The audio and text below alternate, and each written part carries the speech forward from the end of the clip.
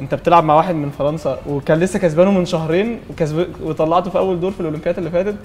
فقلت لهم بصوا محمد بيحب ال ال أيوه أنا كنت برضه. هم كانوا بيقولوا لي آه، آه، اهدى وما تخليش الجمهور يأثر عليك ومش عارف إيه وكده.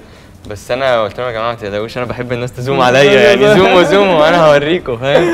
بس آه، بصراحة الماتش آه، هو بقى يعني الماتش أعتقد إنه ما أثرش عليا بس أثر على اللعيبة اللي قدامي آه، بال بالإيجاب مراحل. أنت زي ما قلت أنا لعبته مرتين وكسبته بس في البطولة دي وسط كل الجماهير دي إحنا كان في تقريبا في الصالة حوالي 20000 وكلهم بقى طابعين صور ووش ومش عارف إيه و...